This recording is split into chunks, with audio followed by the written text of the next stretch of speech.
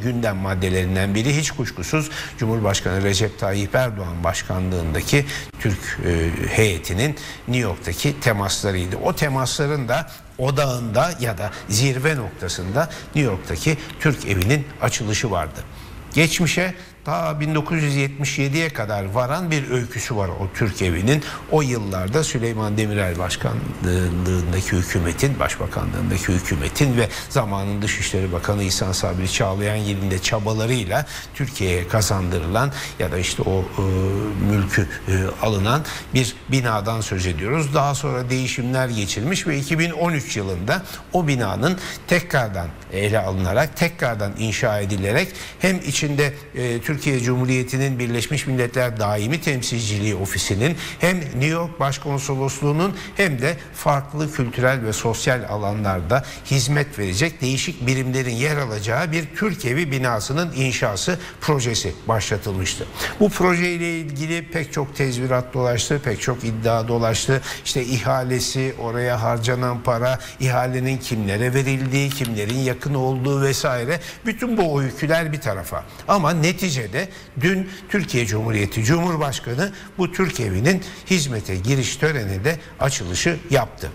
Türkiye'yi öven, Türkiye'nin dünyadaki yerini öven bir e, içerikte konuşma yaptı ve bu eseri Türkiye'nin dünyadaki yerini ve Amerika Birleşik Devletleri'nin New York kentinde Türkiye'yi ne kadar önemli ve görkemli bir şekilde temsil edeceğini öne süren bir konuşma yaptı.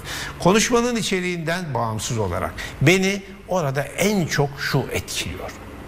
290 milyon dolar ya da 291 milyon dolarlık bir harcama acaba gerekli bir harcama mıdır?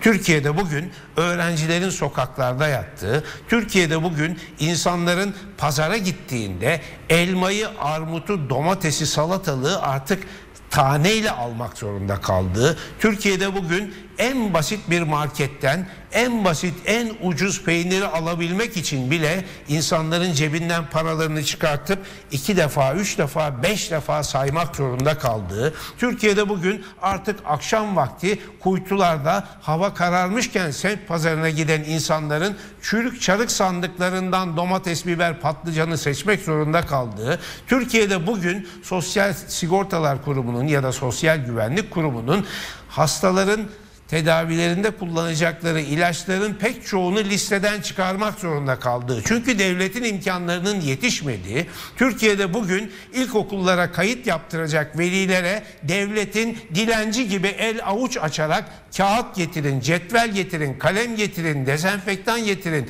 efendim çamaşır suyu getirin, tuvalet kağıdı getirin diye yalvarmak, dilenmek zorunda kaldığı bir ülkede 291 milyon doları götürüp de New York'un ortasına bir gökdelen dikmek acaba dini tabirle söyleyeceğim caiz midir?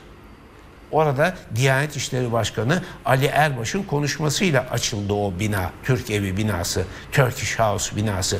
Diyanet İşleri Başkanı Ali Erbaş'a gelirken dönüşte uçakta eğer yer alsaydım bir muhabir olarak ya da bir yazar olarak çünkü orada bizlerin bulunması caiz değil. Çünkü bizleri almıyorlar oraya.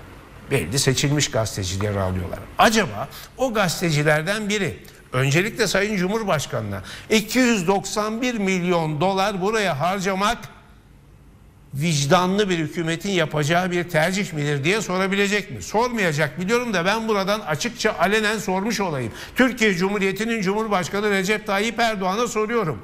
291 milyon liraya kaç tane öğrenci yurdu yapılırdı bu ülkede? Kaç tane SMA hastası çocuğun ilaç ihtiyacı giderilirdi? Türkiye Cumhuriyeti'nin sınırları içinde kaç tane okul, kaç tane hastane yapılırdı? Kaç hastaya ilaç alınırdı o alamadığı, gücünün yetmediği ilaçlar. Geçen gün bir hekim arkadaşımla konuştum. Diyor ki 32 yıldır hekim olarak çalışıyorum. Devlete hizmet ettim. Bu ülkeye hizmet ettim. Geçen gün gittim bir hastalık bir hastalığım için tedavi olacağım. Eczaneden ilacı aldım. Ay sonunda o 25 lirayı benden kestiler dedi. Bakın bir hekime parasız ilacı ilaç veremeyen tedavisi için 25 liralık ilacı veremeyen bir ülkeden söz ediyoruz. Onu emekli maaşından kesen bir ülkeden söz ediyoruz. Sen gidip 291 milyon doları oraya bir gökdelene yatırıyorsun. Daha mütevazı bir bina olamaz mıydı? Tabii ki Türkiye Cumhuriyeti'nin yabancı başkentlerde, Türkiye Cumhuriyeti'nin e, New York'ta Birleşmiş Milletler'in hemen karşısında bir e, güzel binayla, yapıyla temsil edilmesini hepimiz isteriz. Bunu istememek diye bir seçeneğimiz yok zaten. Temsil önemli bir şeydir. İtibar önemli bir şeydir. Ama itibarın sınırını, itibarın dozajını galiba pek iyi ayarlayamıyoruz. Dolayısıyla orada dün Cumhurbaşkanı tarafından açılan o bina bir israftır. Bir şaşalı, şatafatlı yapıya harcanmış, boşa harcanmış bir paradır. Bunu da buradan açıkça ilan ediyorum. 291 milyon dolarla neler yapılacağını alt alta koyun bir anlatın. Diyanet İşleri Başkanı Ali Erbaş'ın son günlerde sık sık ön plana çıkarak her türlü açılış töreninde yok işte adli yıl açılış töreninde bilmem nenin açılış töreninde İmam Hatipliler töreninde efendim oradan gidip Adalet ve Kalkınma Partisi'nin genel başkanı sıfatıyla Recep Tayyip Erdoğan'ı telefonla arayıp ondan övgü alıp ona övgüler yağdırması filan laiklik konusundaki e, Türkiye Cumhuriyeti Anayasası ile ve Türkiye Cumhuriyeti'nin kurucu değerleriyle, kuruluş değerleriyle taban tabana zıt konuşmalar yapması filan e, meselesini bir kenara koyuyorum. Ama beni en çok ilgilendiren şey 291 milyon dolar. 291 milyon dolar çok önemli bir paradır. Dolayısıyla o paranın oraya harcanmasını bir Türkiye Cumhuriyeti vatandaşı olarak sorgulama hakkına sahibim ve pek çok vicdanlı insan gibi Türkiye Cumhuriyeti'nin sınırları içinde yaşayan insanların sıkıntılarını kendisine dert edinen pek çok vicdanlı insan gibi bunu da sorguluyorum. Bir başka şeyi daha sorgulamak gerekiyor. Türkiye Cumhuriyeti Cumhurbaşkanı New York'a her gittiğinde aynı şey yaşanıyor. Ya da New York'a ya da Washington'a yabancı başkentlere gittiğinde. Oradaki o çılgın konvoylar.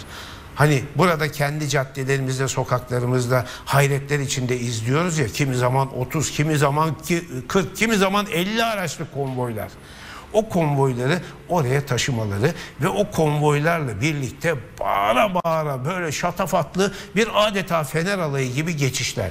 Dün New York'tan gelen görüntüler işte gördüğünüz bu görüntülerde de e, mesela Cumhuriyet Halk Partisi İzmir Milletvekili e, Sayın Tuncay Özkan da Twitter'da yurtta israf, dünyada israf diye paylaştı e, bu görüntüleri. Bakın bağıra çağıra giden konvoy görüntüleri. New York'tan e, oralarda yıllarca gazetecilik yapmış meslektaşlarımız dün gönderdikleri mesajlarda ya da Twitter'a yazdıkları mesajlarda ya buraya her yıl yüzlerce e, kez devlet başkanları, e, hükümet başkanları gelirler. Tamam trafikte bir sıkışıklık e, söz konusudur. New York halkı bunlardan da bezmiştir. Özellikle Birleşmiş Milletler açılış törenlerinde Eylül aylarında. Ama böyle bir manzarayı hiçbir devlet ve hükümet başkanında görmedik. Yani e, muhtemelen buradan hepsi götürülmediğine göre belki hani askeri uçaklarla e, Cumhurbaşkanı'nın kendi makam aracı, zırhlı aracı çünkü özel donanımlı bir araç onun götürülmesi makuldür. Yani her gittiğiniz başkentte o vasıflarda araç bulamazsınız. Özel donanımlıdır, özel güvenlik donanımı vardır. Efendim zırhlıdır vesaire. Amerika'nın başkanı da ya da başka başkanlar da yabancı ülkelere ziyaretlere gittiklerinde bunları yaparlar. Askeri bir uçağa bindirilir Cumhurbaşkanı'nın uçağı oraya götürülür. Bunu anlayabilirim. Cumhurbaşkanının güvenliği çok önemli bir vazgeçilemez bir gerekliliktir. Onu anlayabilirim ama tabii ki e, onun dışındaki e, personelin ya da güvenlik e, görevlilerinin korumalarının kullanacakları araçları hepsini götürmek mümkün değil. Ne oluyor? Oradan düzinelerle araç kiralanıyor ve milyonlarca dolar da ona harcanıyor. Gerçekten gerekli mi? Onu bilemiyorum ama şu manzara görmek istediğimiz bir manzara değil. Ciyak ciyak bağıra çağıra giden konvoylar millet sokakta soracak. Kimmiş bu? Efendim işte Türkiye Cumhuriyeti'nin Cumhurbaşkanıymış. Türkiye Cumhuriyeti'nin onuru ve itibarı o konvoydaki araç sayısıyla mı ölçülür? Bence değil ama bu manzaraları yine bir kez daha orada yaşadık. Ee, maalesef yaşadık diyoruz. Yani bir itibar gösterisi yapayım derken bence de mahcup duruma düşmüş oluyoruz.